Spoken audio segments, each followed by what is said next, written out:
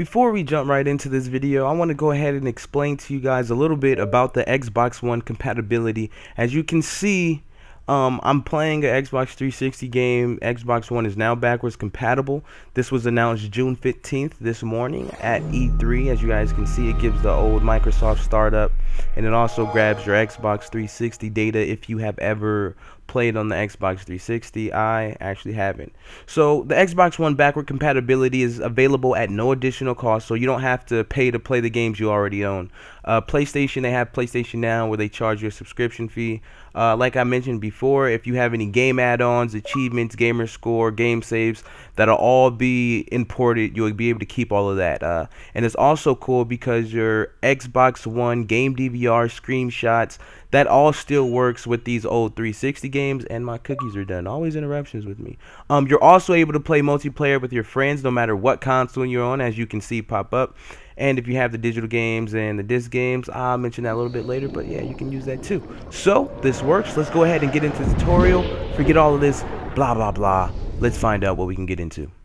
I'm like, I know you probably right though. Christian Bale, I'm a psycho. I'm also trying to be Michael Myers, Jordan, or Jackson. Accept the version of rapping. You a virgin to rapping. See you cocky on the internet. I'm a What's up YouTube? It's your boy Easy, also known as the Kanye West of video gaming, and as I'm being interrupted at the beginning of my intro by my girlfriend coming home, but this is perfect because she plays a big part in this Xbox One backwards compatibility. So I wouldn't be able to do this if it wasn't for this woman. Now, don't mess me up anymore because I don't want to hear any background noise. Thank you, babe. I appreciate it. Anywho, you know, Mr. One Take, that's me let's get back to this Xbox One backwards compatibility. So basically how this works is if you have a game on the 360, it will be able to play the 360 disc whether you downloaded it from the marketplace on the 360 or if you actually have the disc. But here's the trick. The list for this tutorial or for the backwards compatibility at the moment is very small. And if you guys want to know what the list is, check down in the description below. Please do that and you will be able to see every game that is available at the moment to play that's backwards compatible. And it's a very terrible selection of games. The reason why i mentioned my girlfriend is because it's viva pinata as you can see and it's simple. If you have the disc all you do pop in the disc and it install like normal i was confused at first wondering if it was going to pop up now if you have the game um on the Xbox 360 Marketplace, you downloaded it, then it'll pop up in your queue to be ready. Or usually what happens is if you were to go to your games and go all the way to the right, there's usually a list of games that are ready to install. It'll pop up there.